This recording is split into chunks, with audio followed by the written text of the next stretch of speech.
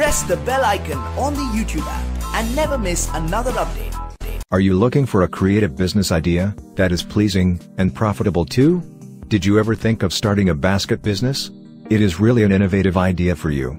In fact, it makes you satisfied and nurtures your creative mind and sense of designing.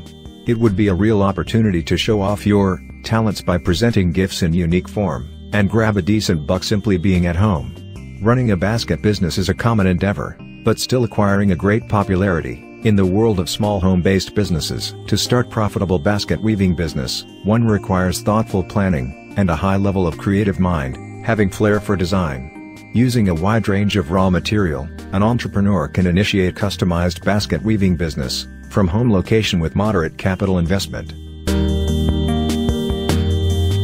Bamboo is durable, and is a sustainable material, as some species can grow more than a yard in one day. Bamboo baskets can be decorative or conserve, as a place to store magazines, craft supplies or other items in home. The basket will take many hours, but you can always work on it in your free time. Cut a 3-foot piece of bamboo vertically, into 4 planks using a large knife. Cut each plank in half. Divide the halves into layers, starting from the backside of the bamboo. Snip the ends of the bamboo strips with scissors, if needed, so they are all equal lengths. Peel the bamboo strips to separate, and create more strips of bamboo. Unroll, and cut a 5-foot piece of string. Thread the tapestry needle with the string. Gather 3 pieces of bamboo, and wrap the loose end of the string around the end of the bundle. Wrap 3 to 4 inches of string around the bamboo, Curve the bamboo into a U shape, and wrap the string around both sides of the U six times to secure. You will have a small loop. Bend the loose end pieces of bamboo around to where they lay alongside the loop. Stitch around the bamboo pieces, and through the loophole with the tapestry needle. Use a whip stitch while keeping the stitches close and next to one another.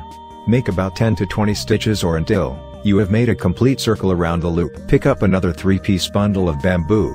Add it to your basket by placing it underneath the loose bamboo that is protruding from the ring. Wrap the string around the combined bamboo bundle six times. Wrap the string around the bamboo and the coil of the previous row by inserting the tapestry needle through the coil, over the bamboo bundle, and back through the coil. Continue to add bamboo, this way until you have reached your desired size of basket. Create sidewalls by sitting the upcoming row or bundle on top of the previous coil as opposed to the coils being adjacent.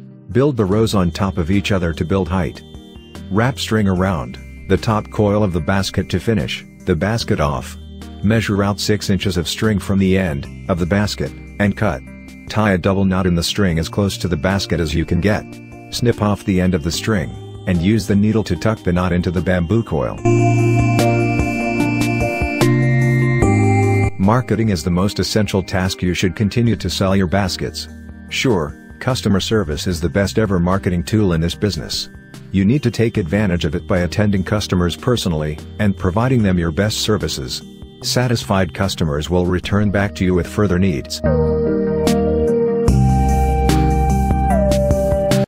If you have any question, you can comment below on this video. Finally a request, please don't forget to subscribe this channel, and stay with us.